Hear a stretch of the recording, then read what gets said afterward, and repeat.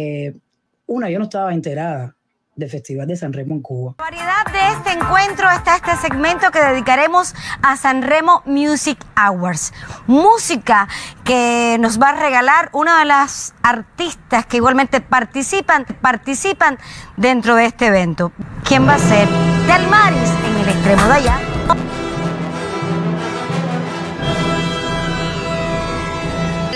O, hubiera escrito Robert, que no se ve, eh, no se ve la rabia, ¿no? Y, para mí fue como que hizo algo sin, con, mala gana. Exactamente. Parece, parece eh, que a Telmari varias gente también le escribió y una de las más activas, al parecer, lo digo al parecer no porque tenga miedo, sino porque no, no, no lo sé realmente, pero una de las más, de las más activas, al parecer, fue Analogías de Lola. Y cuando ella le responde a Analogías de Lola directamente, es que obviamente Analogías de Lola cogió ahí, le puso el dedo, le puso el dedo, le puso el dedo.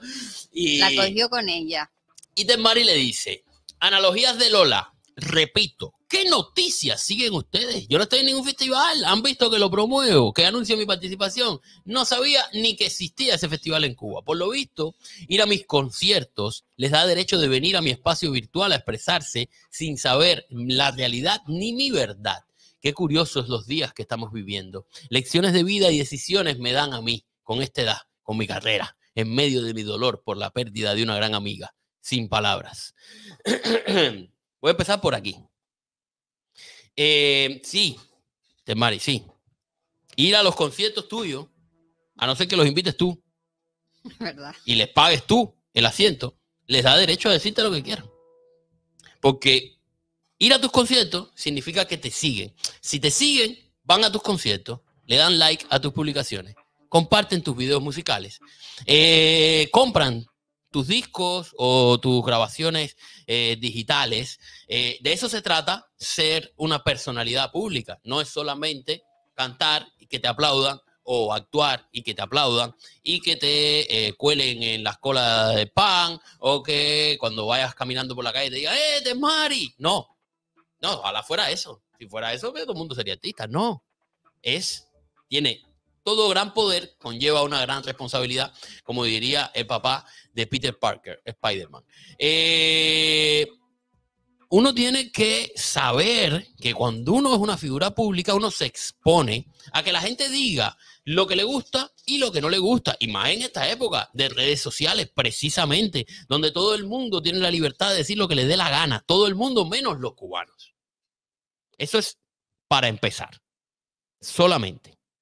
Lecciones de vida y decisiones me dan a mí con esta edad. Imagínate tú, a mí me dan lecciones de vida todos los días. Algunas buenas, otras malas, otras no me interesan, pero también me dan lecciones de vida todos los días y debo tener más o menos 10 años más que tú. En medio de mi dolor por la pérdida de una gran amiga, yo entiendo. Entiendo, por supuesto, que puedas estar dolida porque murió Suilén Milanés, pero tú sabes cuántos niños hay presos en estos momentos en Cuba por esa dictadura. Tú sabes cuánto dolor tienen esas madres. Tú sabes cuánto dolor tiene este exilio. Tú sabes cuánto dolor tiene la gente que te escribe, porque la gente que te escribe probablemente te está escribiendo porque quiere que tú tomes una, una decisión, que tomes partido, que digas estoy aquí o estoy allá. Lo mejor. ¿eh? Además, ahí está mezclando la faceta suya profesional con la personal completamente. A todos se nos muere eh, gente, lamentablemente, todos eh, tenemos en algún momento de nuestra vida un momento eh, extremadamente difícil con algún familiar o gente muy querida o con amigos, pero por otro lado nosotros tenemos nuestra faceta laboral en la que no la mezclamos, es decir, es, eh, no tiene nada que ver con que yo ahora esté pasando por un cáncer de pulmón con mi madre y que tenga que venir aquí a trabajar. O sea, no tiene absolutamente nada que ver, señores. La gente escribe y yo contesto. Yo tengo una faceta personal donde tengo unos problemas y los soluciono, pero no entiendo, no entiendo eso. No, no, no lo eh, entiendo, Robert, sinceramente. eso es la carta, eso se llama, y es así, y mira, se va a poner brava conmigo, no me va a volver a hablar en la vida, pero esa es la carta de la pena. La carta del dar lástima. Se me acaba, acabo de perder una. Bueno, está bien. ¿Dejas de hacer conciertos? No. ¿Dejas de trabajar? No. No, ¿verdad? Entonces. Eh, dejas de maquillarte, dejas de ponerte bonita, dejas de vivir, dejas de comer. No, indiscutiblemente, la procesión va por dentro, pero va por dentro. Si va por dentro, va por dentro. Y preguntas, ¿dónde se informan ustedes? ¿Qué noticias ven ustedes? Bueno, yo te voy a explicar exactamente qué noticias vemos nosotros. Ahí está.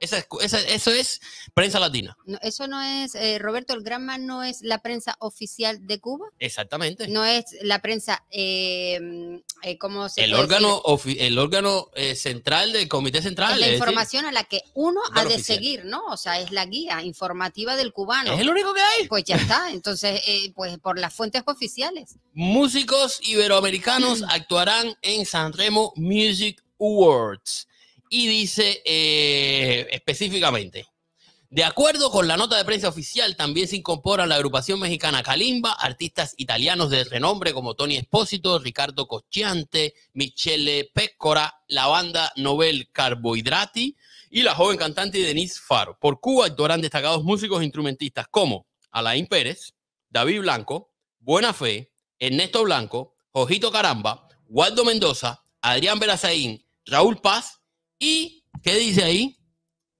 Telmari. La cantante de hip hop, Telmari Díaz. Ahí es donde nos informamos. ¿Por qué, ¿Por qué tú no lo sabías? Bueno, mira, yo no lo sé, la verdad. Yo no lo sé. Pero mi nombre no sale en ninguna prensa si yo no lo sé. Nadie me anuncia a mí, a mí, en un espectáculo si yo no voy a ir. Y además, si, si de repente a ti te anuncian, Roberto, sales al minuto a desmentirlo. Por supuesto. Y a decir que no estás confirmado, que es completamente distinto. No, no, pero además, fíjense que lo que ella dice es, ¿han visto que lo promuevo? Anuncio mi participación.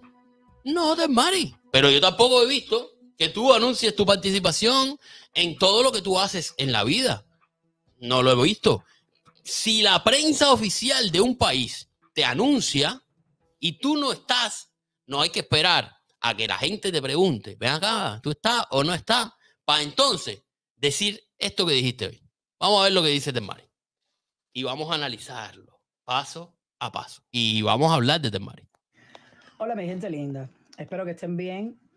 Eh, estoy haciendo, voy a hacer lo más clara y directa posible. Estoy haciendo este video eh, a raíz de que se me ha atacado en las redes sociales, algo que realmente los artistas ya estamos acostumbrados a que se nos ataquen en las redes sociales, a pesar de que uno trata realmente de siempre eh, transmitir música, amor, alegría, paz, es lo que siempre transmito, eh, a pesar de que tengo muchísimos problemas y muchísimas dolencias, y, pero no, no tengo por qué compartirla con ustedes, ni siquiera soy capaz de compartir mi dolor y mi sufrimiento que acabo de perder una gran amiga, Suilén Milanés pero me veo en la obligación de simplemente informarle a los equivocados que vienen a mi muro a ofenderme, eh, a faltarme respeto en mi espacio virtual.